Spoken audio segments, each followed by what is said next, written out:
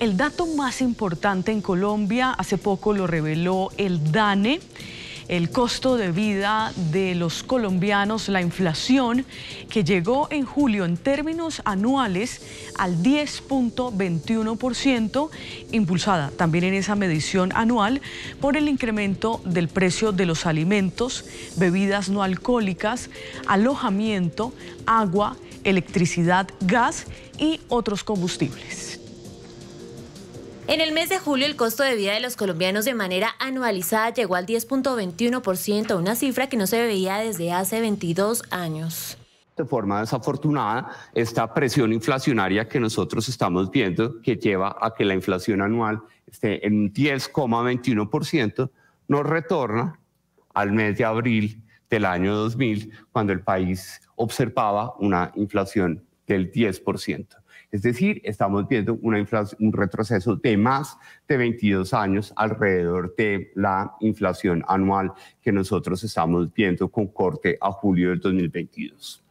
A nivel mensual, la inflación llegó al 0.81%, impulsada principalmente por el rubro de los alimentos y bebidas alcohólicas, seguido por el alojamiento, el agua, la electricidad, el gas y otros combustibles. Esa inflación del 10,21% se debe rápidamente a una sobreinflación de alimentos y adicionalmente a un impacto muy importante de la inflación de electricidad sobre la división de arrendamientos y servicios públicos domiciliarios. Por eso, como tú lo mencionabas, esta inflación del 0,81% mensual es una inflación que llega a ser más de cinco veces la inflación promedio que estimábamos en el mes de julio y adicionalmente la inflación de alimentos, sobre todo los pollos, carnes, en este caso también estamos viendo que productos asociados con, en este caso, hortalizas como las habichuelas, el azúcar, el pan y las legumbres secas como las lentejas